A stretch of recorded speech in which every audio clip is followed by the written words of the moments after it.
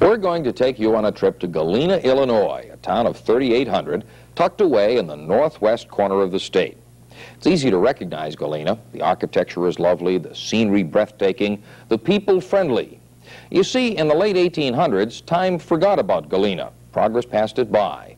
As the mayor says, that's probably the finest thing that ever happened to it. The song being played at Raleigh's restaurant in Galena speaks of a time when life was slow and oh so mellow. Galena townspeople say that time still lives in their town.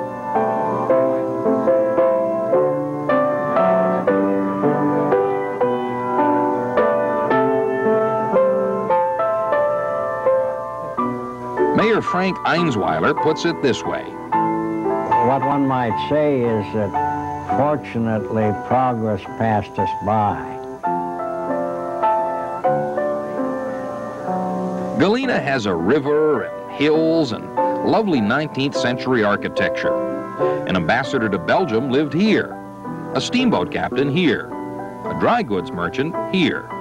There is a lot to titillate the eye being an artist, I found out that all you needed is just to turn around and there was a vista of something to paint. That's Edward G. Kelly. Formerly a Chicagoan, he now runs an antique store on Main Street. Not an uncommon occupation in Galena. Main Street curves a mile and a half through town with buildings vintage 1820s through 1850s. They're filled with people who appreciate old ways, old things. A stained glass artist works in what was the town's first metal front building. Just across the street is Carl Johnson's studio. Carl was once a commercial designer in Hinsdale.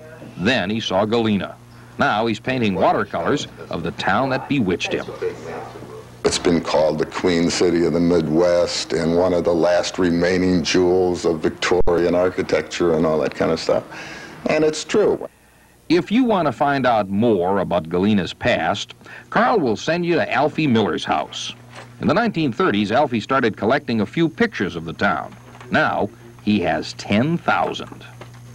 I have never lived anywhere else, so I don't know what another town would be like as far as, but to me, I've loved it and I want to see it preserved. That's why I've saved all these pictures. Alfie has pictures of what built Galena, like the lead mines. In fact, the word Galena means lead ore. The town supplied nearly all the country's lead in the mid-1800s. Steamboats built Galena too, hauling lead and other commodities.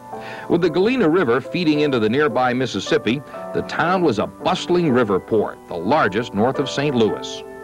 When the French, the Irish, and them learned about the mineral here, they all came over here to get rich quick. And of course, we were 20,000 people when Chicago was Fort Dearborn. In 1847, there were 45 grocery stores on Main Street and 30 saloons. Well, the railroads mostly bypassed Galena, and the river started to silt up, and the miners left their lead for gold out west. The town was frozen in time. Nobody could see any future in Galena. And so they didn't invest any money in Galena. That's probably the finest thing ever happened to it. The mayor likes to say that Galena's past is its future, and there's a lot of that to bank on. This is U.S. Grant's home. He moved to Galena right before the Civil War. Right after the war, the townspeople gave their hero this house. It was from here Grant campaigned for the presidency. Most of the furniture is original. This is where he slept, where he ate, where his meals were cooked. We're told he liked corn and pork and beans, and the nearer he came to burning up the meat, the better he liked it. State historian Pete Campbell says there's a reason why Galena supplied the North with nine Civil War generals, Grant included. They knew the right people at the right time, one being Elihu Washburne, who was our congressman at, at that time, who was a very powerful uh, political figure in the Republican Party. If you had peered through this frosty window 90 years ago, you'd have seen the same picture. John Martinson now keeps alive the traditions of the blacksmiths that preceded him in this shop. He bends his steel into everything from weather vanes to sculpture and is a living history lesson for those who come by. We came down as tourists and visited the town and really liked the town and uh, then saw the shop and noticed that it wasn't being used and uh, the old blacksmith's son is still in town here and he showed us through and we were very interested in trying it to see uh, how blacksmith would do uh, in this town in this time. Nancy Eberly first came as a tourist too. Now she's written a book about why her family moved to Galena from Evanston. She found a friendliness just as warm and as captivating as the old buildings. Every commercial encounter is virtually a social encounter as well. And you walk in the bank and the teller says, hi Nancy, and you walk in the drugstore and they you chat about your children. Alfie Miller knows what Nancy's talking about. You have you make your friends, you make you talk to your neighbors. In Chicago, they tell me they, they don't know who lives next to them, they don't care. They don't want to know even. See, well, we want to know, and we sit on the porch and talk to each other and help each other.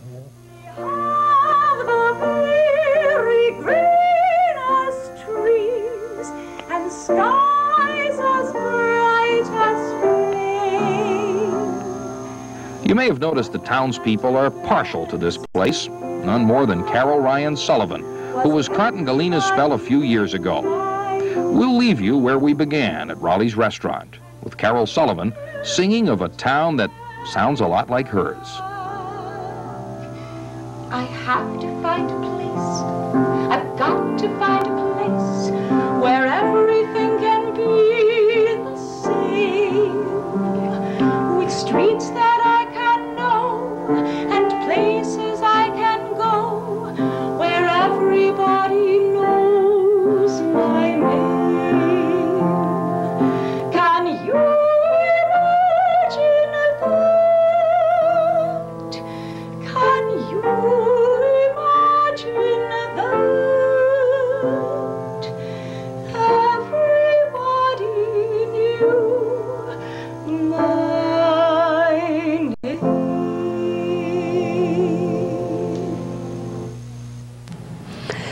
Mayor says that the trick is to attract tourists to Galena without becoming a tourist trap. As it is now, 85% of the town is considered a National Historic District. That means no building's exterior can be changed without going through City Hall.